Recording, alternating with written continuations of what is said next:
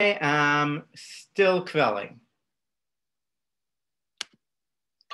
The very first second gentleman, and he's Jewish. Doug Emhoff's rabbi must be so proud.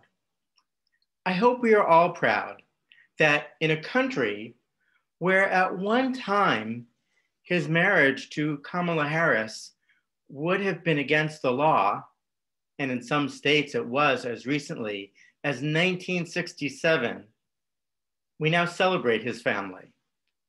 I know that my family celebrates the Harris Emhoff family. Theirs, like mine, is a transracial family. An increasing number of Jewish families look like the second gentleman's. I love saying that, don't you? An increasing number of Jewish families look like the second gentleman's family and mine. As our Jewish community becomes more diverse, it seems only logical that Black History Month might make its way into the Jewish calendar. There is a synagogue in Miami that has offered services in Spanish and Hebrew because they have so many Spanish speaking congregants. A congregation in Los Angeles observes a Chinese New Year because they have so many members of Chinese origin. And many congregations, ours included, celebrate Pride Shabbat. But we celebrate Martin Luther King Jr. Shabbat, you might ask. And we do. Such services have become staples of many congregations, complete with a black choir and a guest preacher. For many a Reformed synagogue, it is one of the most well-attended services of the year, and it should be. It is often an opportunity to reflect on the historic relationship between Black and Jewish communities. We celebrate our common stories and our commitment to social justice. We love the photographs of Rabbi Abraham Joshua Heschel marching alongside Reverend King. MLK Shabbat, as we call it, celebrates the two distinct communities, not Jews who were also people of color. Yet we have often expected MLK Shabbat to do both. We love to trot out our members of color to participate in that service. Trust me, if my family and I are at a synagogue for MLK Shabbat, we will be lighting the candles. Increasingly, many people define themselves by more than just one identifier. We are certainly familiar with that idea. Whether we are American Jews or Jewish Americans, we are used to proudly wearing more than one identity. As our Jewish community has grown more diverse, we have acknowledged that through celebrations, learning, and Shabbat observances. We here at Temple Emanu-El have been doing much of that. A number of us have been watching films about civil rights, the role of the Jewish community in that struggle, and one about a young woman of color on her journey to the rabbinate. We have been reading books and hearing from our fellow members. From the conversations taking place, both in the larger Jewish community and here at Temple Emanu-El, we know that being both Black and Jewish is not always so easy. And celebrating that intersectionality will take some thought and reflection. We may start with learning about the experiences of people of color, especially Jews of color, when they enter Jewish spaces. Of course, I know that we would try to make anyone welcome who entered our doors, or these days, I suppose, our Zoom rooms. But often when people of color enter Jewish spaces, it is just assumed they're not Jewish. Attempts to make those of color feel welcome may wind up doing just the opposite. Assuming that those of color are not Jewish risks making them feel like imposters or not welcome when they so want to feel at home. Instead of asking someone if they are familiar with the prayer book with best intentions, people of color are often at the receiving end of a tutorial in Jewish practice and worship, when in fact, they may be a longtime member of a synagogue quite familiar with the Siddur in our attempts to be friendly, we may find ourselves making assumptions about people. We might assume that someone has converted to Judaism, not considering that they may have been Jewish all their lives, or assume that they are Jewish because of a connection to someone who is white. what to us may be an attempted conversation might make someone feel that they are being asked to prove their Jewish credentials because of the color of their skin. Sometimes those things which serve to make us feel safe might make others uneasy. The presence of police cars and off duty officers is something we have become accustomed to as part of congregational life. Given acts of anti Semitism, the, these have offered us a measure of comfort and safety. Sadly, not all people of color see the presence of police and feel protected. They may worry that the officers, expecting everyone coming to a synagogue to be light skinned, will question them or ask to see a form of identification.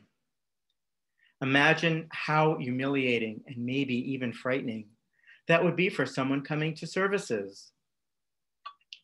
A friend of mine was the vice president of her synagogue. One year, she accompanied her members of her congregation to a URJ biennial. Her attendance coincided with a new campaign by the URJ to increase our welcome of Jews and people of color into our communities. As one of the few African American people there, the staff photographers soon had her face up on the Jumbotrons. My friend was celebrated wherever she went. When she returned, her home congregation hosted an event for their local federation. More than one guest at that event handed my friend their empty plate, assuming that rather than a leader of the congregation, she was there to clean up. I have often wondered how my children's Black and Jewish identities might mesh. When they became B'nai Mitzvah, we had talitot, including this one, made from African fabrics for our family. We lit candles not only for Hanukkah, but for Kwanzaa too. But there were other ways that these two identities did not mesh. In middle school, my older son Avi went on a Temple Youth Group event. It was a treasure hunt at the local mall. You can imagine a bunch of young teens running around the mall looking for clues in stores all over the place. Like most middle school boys, Avi always wore a hooded sweatshirt. That was when we had to have the talk with Avi. The talk, as it is known, is the discussion parents have with their Black children. It is when we explain to them they must behave in certain ways and they will not be given the benefit of the doubt. It is when we tell our Black children that when they go into a store, they cannot have their hands in their pockets, to keep their jackets open and their hoods down off their heads. Even if their white friends don't have to do this, our children must. It is when we tell them that if they are accused of something, to remain calm that if they are stopped by an officer of the law, be polite and never run away. Because people make assumptions. They may not see beyond the color of Avi's skin or his hoodie. They may not see a nice Jewish boy, the son of a rabbi and a school principal, on a Jewish youth group event. They may not have noticed that he was actually with a group of teens because his skin color was not the same as theirs. So, where do we begin as a Jewish community to think about celebrating Black History Month? I think we begin by listening. This is not always easy, and the point is not to make people feel bad. It is so that we can begin to understand the lived experiences of others, to begin to understand that our experiences may differ, radically so. The funny thing is just how much we are learning about race these days. To date, over 37 million, 37 million DNA kits have been sold by companies such as Ancestry.com and 23andMe. Some people are getting results that surprise them. In an op ed article by Libby Copeland, author of The Lost Family How DNA Testing is Upending Who We Are, she writes Perhaps they or a parent was adopted or donor conceived and never told. Or their families hid their genetic ancestries as an escape from discrimination. Maybe dad isn't their dad, genetically speaking, or they have a sister they never knew about. Some people are discovering their ancestors were Black or Jewish. Others are learning their African American lineages contain more European ancestry than they thought. According to a study by 23andMe, almost 4% of their customers who identified as white had at least 1% African ancestry. In Southern states, it increases to 12% of whites who have at least 1% African ancestry. Now, 1% may not seem like much, but at times it could make all the difference and determine whether one was Black or white.